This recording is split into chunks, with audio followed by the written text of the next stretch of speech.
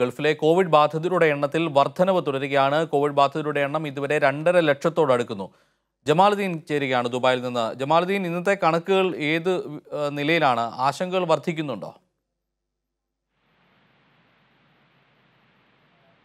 ജമാലുദ്ദീൻ.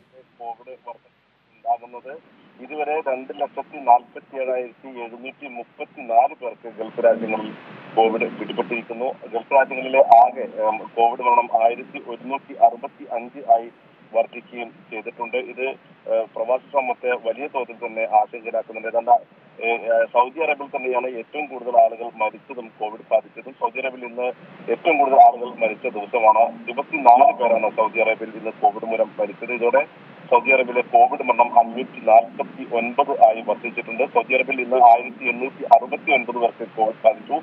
ആകെ കോവിഡ് ആകെ കോവിഡ് ബാധിതരുടെ എണ്ണം എൺപത്തി ഒൻപതിനായിരത്തി പതിനൊന്ന് ആയി മാറിയിട്ടുണ്ട്. യു എയിൽ കഴിഞ്ഞ ദിവസങ്ങളിൽ കോവിഡ് വർദ്ധിക്കുന്നവരുടെ എണ്ണം കുറഞ്ഞു വരികയാണ് എന്നത് ഏറെ ആശ്വാസകരമാണ്. ഇന്ന് അഞ്ഞൂറ്റി തൊണ്ണൂറ്റി ആറ് പേർക്ക് മാത്രമാണ് കോവിഡ് സ്ഥിരീകരിച്ചത്. ആകെ കോവിഡ് ബാധിതരെണ്ണം മുപ്പത്തി അയ്യായിരത്തി എഴുന്നൂറ്റി എൺപത്തി എട്ട് ആയി മാറിയിട്ടുണ്ട്. മരണസംഖ്യയും യു എൻ കുറഞ്ഞു വരികയാണ് എന്നത് ഏറെ ആശ്വാസം പകരുന്നു. മൂന്ന് പേരാണ് ഇന്ന് കോവിഡ് മൂലം മരിച്ചത്. ഇരുന്നൂറ്റി അറുപത്തി ഒൻപത് പേർ യു എയിൽ ഇതിനകം കോവിഡ് മരണത്തിന് കീഴടങ്ങിയിട്ടുണ്ട്.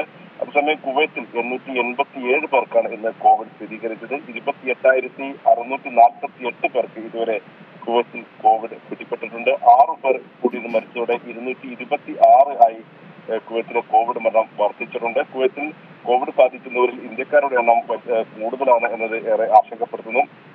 ഖത്തറിലാണ് ഏറ്റവും കൂടുതൽ അടുത്ത ദിവസങ്ങളിലായി കോവിഡ് വ്യാപനം ഉണ്ടാകുന്ന ഒരു രാജ്യം ആയിരത്തി എണ്ണൂറ്റി ഇരുപത്തി ആറ് പേർക്കാണ് ഇന്ന് ഖത്തറിൽ കോവിഡ് ബാധിച്ചിരിക്കുന്നത്. അറുപത്തി ഒൻപതിനായിരത്തി ഇരുന്നൂറ്റി അൻപത്തി ഒൻപതാണ് ഖത്തറിലെ കോവിഡ് ബാധിതരുടെ എണ്ണം. കോവിഡ് ബാധിത എണ്ണത്തിൽ ഗൾഫിൽ രണ്ടാം സ്ഥാനത്ത് ഖത്തർ ആണെന്ന് പറയാം. അതേസമയം ഖത്തറിൽ മരണസംഖ്യ താരതമ്യേന കുറവാണ് മൂന്ന് പേരാണ് ഇന്ന് ഖത്തറിൽ മരിച്ചത്. ഖത്തറിലെ ആകെ കോവിഡ് മരണം നാൽപ്പത്തി മൂന്ന് ആയി മാറിയിട്ടുണ്ട്. ഒമാനിൽ കഴിഞ്ഞ നേരത്തെ ഒമാനിൽ കോവിഡിന്റെ വർധനവ് കുറഞ്ഞ രീതിയിലായിരുന്നു. പക്ഷേ കഴിഞ്ഞ മൂന്ന് നാല് ദിവസങ്ങളിലായി ജമാലുദ്ദീനാണ് വിവരങ്ങൾ നൽകിയത്. ഗൾഫിലെ കോവിഡ് ബാധിതരുടെ എണ്ണത്തിൽ വലിയ വർധനവ് തുടരുന്നു. മരണസംഖ്യയും ഉയരുകയാണ്. സൗദിയിലാണ് ഏറ്റവും കൂടുതൽ കോവിഡ് വ്യാപിക്കുന്നത് എന്നുള്ള വിവരങ്ങൾ കൂടിയാണ് ജമാലുദ്ദീൻ പങ്കുവച്ചത്.